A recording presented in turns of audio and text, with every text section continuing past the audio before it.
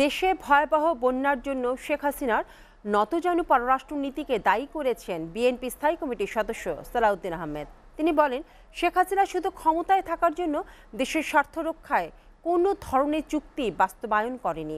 বন্যার্তদের ত্রাণ সামগ্রী বিতরণের উদ্দেশ্যে যাওয়ার পথে রাজধানীর গুলশানে এই কথা বলেন তিনি। সালাউদ্দিন আহমেদ আরও বলেন, বিএনপি সরকার গঠন করার সুযোগ পেলে জনগণের অধিকার রক্ষায় কাজ করবে। ভারতের প্রতি আহ্বান জানিয়ে তিনি বলেন, ভারত সরকারের উচিত হবে কোনো একক ব্যক্তির সাথে সম্পর্ক না রেখে বাংলাদেশের জনগণের সাথে সম্পর্ক রাখা। এদিকে গুলশান চেয়ারপারসনের কার্যালয়ে পাকিস্তানের হাই কমিশনারের সাথে আলোচনায় বসেন বিএনপি স্থায়ী কমিটির আরেক সদস্য, আমির খসরু মাহমুদ চৌধুরী। পরে তিনি সাংবাদিকদের জানান, পাকিস্তান সরকার বাংলাদেশের সাথে ব্যবসা বাণিজ্য উন্নয়ন কাজ করতে আগ্রহী। একই সঙ্গে বাংলাদেশের সাথে পাকিস্তানের সম্পর্ক উন্নয়ন কাজ করবে দুই দেশ। লেভেল প্লেইং ফিল্ডে কম্পারেটিভ অ্যাডভান্টেজের ভিত্তিতে যাদের যেখানে অ্যাডভান্টেজ আছে, সেখানে আমরা একে অপরের সাথে সহযোগিতা করব।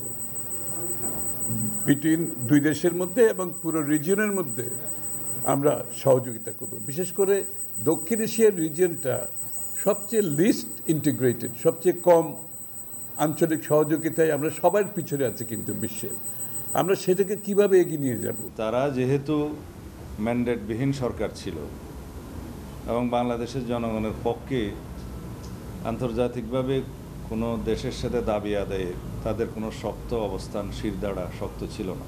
ম্যান্ডেট নিয়ে একটি গণতান্ত্রিক রাজনৈতিক সরকার প্রতিষ্ঠিত হলে আপনারা অবশ্যই পরিবর্তন দেখবেন এবং দেশের স্বার্থ সংরক্ষিত হবে, রক্ষিত হবে।